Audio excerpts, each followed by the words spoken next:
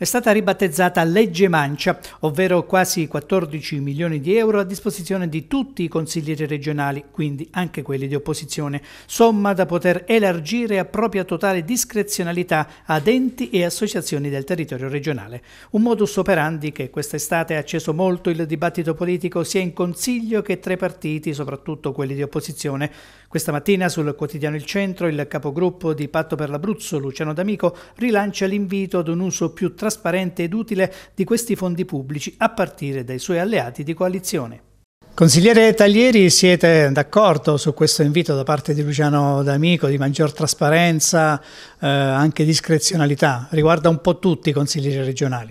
Assolutamente sì, vorrei ricordare a tutti che le stesse risorse che sono state impegnate, ipoteticamente impegnate, pari a 22 milioni e che oggi si attestano a circa 14, già lo scorso anno avevamo chiesto che venissero utilizzate solamente per la crisi in agricoltura per la peronospera e quindi a sostegno delle imprese agricole.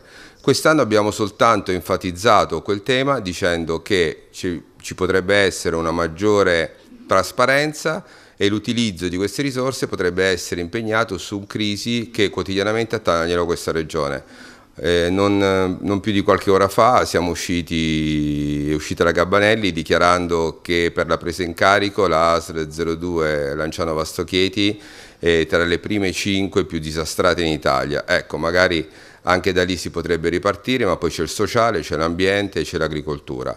L'unica cosa che è stata chiesta, sì, va bene quelle che sono le misure, sì, va bene quelli che sono gli interventi da parte di tutti i consiglieri, ma si può fare anche in maniera diversa, cosa che invece questa maggioranza continua a non volere e continua a voler avere quella discrezionalità che molto spesso utilizza in maniera non corretta quelle che sono le risorse e i soldi degli abruzzesi. La strada di un maggior controllo di come vengono spesi i soldi viene caldeggiata anche dalla maggioranza, come spiega il capogruppo di Fratelli d'Italia in Consiglio regionale Massimo Verrecchia.